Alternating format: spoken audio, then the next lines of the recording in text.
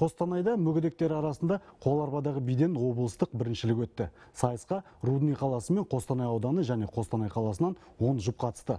Олар бидің бірнеше түрінен өнер көрсетіп, өзара сынға түсті. Жалпы қоларбадағы би елімізде кенже дамыған спорт түрі. Ал Қостанай қаласында осындай сайыстардың ұйымдастырылып бастағанына биыл 6 жыл. Басты мақсат салауатты өмір салтын насихаттап, мүмкіндігі шектеулі жандарға арналған спорт түрін дамыту. Шеберлікті шыңдап, халықаралық деңгейдегі сайыстарда Қазақстанның атынан өнер көрсету.